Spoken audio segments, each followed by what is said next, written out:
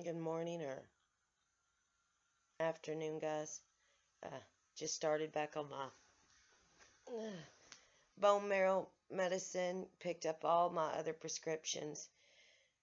Uh, my better half drug me down to go pick all those up and picked up all my herbal protocol because I haven't been on them in about two weeks and I spent the whole night herxing and in and out of the bathroom because anything I put in came right back out.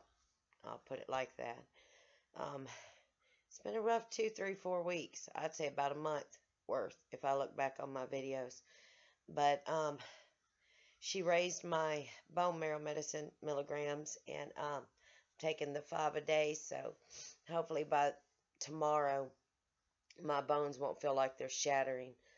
Um, uh, I pretty much slept the whole trip yesterday down valley in the cars you name it i've slept came home and slept slept slept. There was i've had no energy because it's just drained me and now i'm dealing with the herxing from being back on the herbal protocol.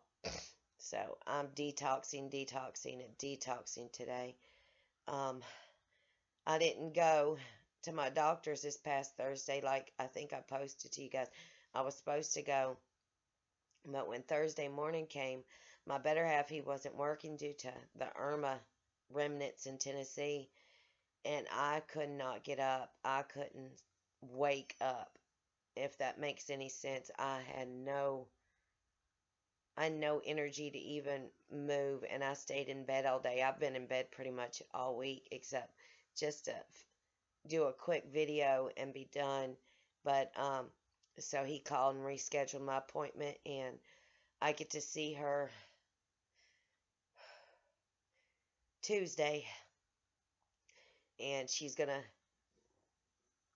prescribe some more, uh, try and prescribe some antibiotics, azithromycin and doxy, um, at the same time on to go with my herbal protocols, and now I'm on uh, for the severe nausea I've been dealing with for about a month and a half, two months.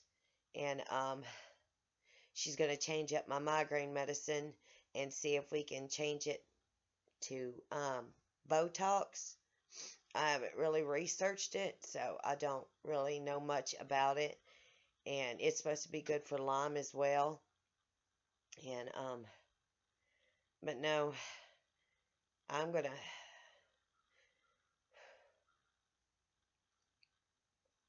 stay on my couch today or in the bed because, yeah, herxing's not too well. I'm, I'm getting up long enough to just go to the bathroom or just go to bed.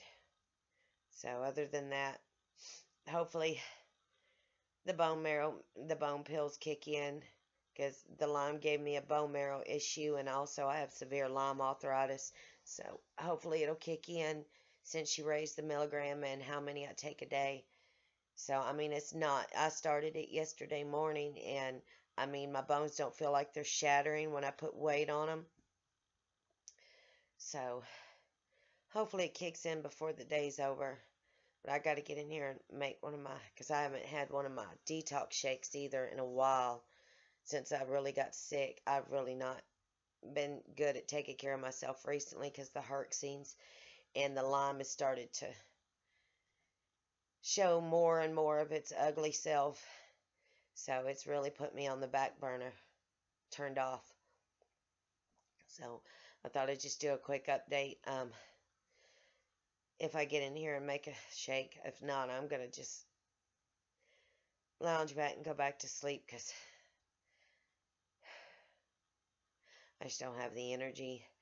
And my stomach hurts so much from all the the spasms and the stomach pains from the herxing and in and out of the bathroom and slice of lime made note of the parasites feed off everything you eat and everything and could cause you dehydration and you're always hungry due to it and I'm doing some research on that and no matter how much I eat or drink, yeah, I'm I'm always dehydrated too. So I'm going to do some research on that and see.